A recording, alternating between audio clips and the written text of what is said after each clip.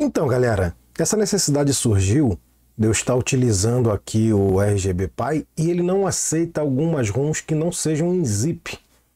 Então tá aqui, ó, para vocês verem aqui, ó, o Atari 2600, certo? E aqui, ó, as ROMs todas aqui em ponto .bin. E aí o que acontece? Eu vou fazer um teste para ver se ele aceita em zip, né? Em ponto .zip. Porém, como que você vai passar esse monte de arquivo um por um em zip, né? Então eu estava pesquisando na internet e não encontrava, encontrei até de um cara, deu certo. Vou utilizar o método dele aqui, mas sem enrolação, galera. Então é o seguinte, você seleciona todos os arquivos aqui, dá um Ctrl A, botão esquerdo. Estou utilizando o Windows 11, tá? É aqui, ó, adicionar para o arquivo. Show de bola.